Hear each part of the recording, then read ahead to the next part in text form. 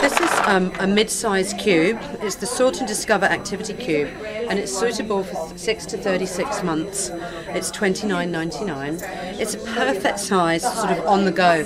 So if you have a child that's going to grandma's for the day, it's just enough space to get in the car, throw in the, you know, a couple of diapers and a bunny, and off you go.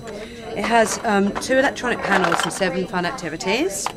And why we like it is that it's really incorporated the best of our infant toys into one.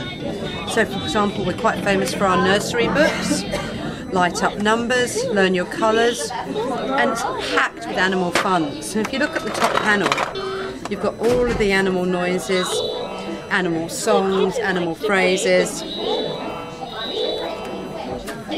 From a um, physical development point of view, fine motor skills are really important for 6 to 36 months.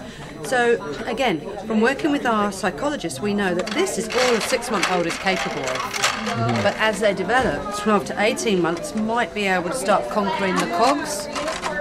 And then this is actually quite complicated fine motor skill development, twisting a monkey up a tree. Really getting up into that three year old, and there's a lot of reward in that for them.